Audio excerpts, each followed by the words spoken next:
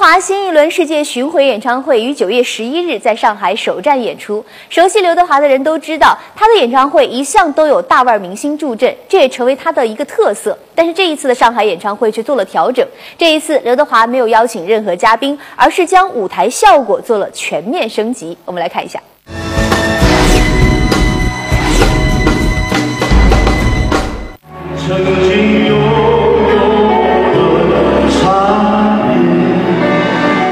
华在上海开唱的当天是周三，本以为工作日会影响上座率，不过当天歌迷很给面子，全场一万六千个观众席位几乎全部坐满。而为了回馈歌迷，刘德华还将香港红馆的四面舞台搬到上海，这也是他二十年来首次在上海使用四面舞台，主动拉近与歌迷的距离。就像回家一样，比如说，你就在家，你看到成长的那些人，你就觉得你。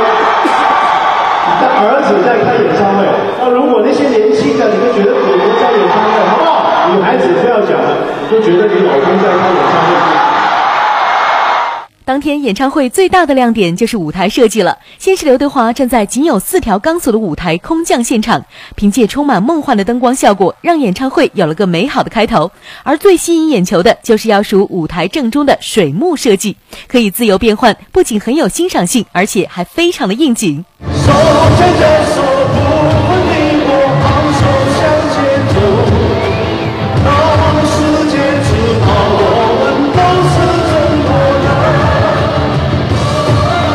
整场演唱会期间，刘德华多次乘坐吊篮升至十几米高空后，再沿着舞台顶层钢架边走边唱，近距离接触歌迷。唱到性浓，甚至还扯掉上衣，大秀自己的六块腹肌。全程三个小时的演唱会，刘德华唱了《爱你一万年》《笨小孩》《都怪我》等经典歌曲。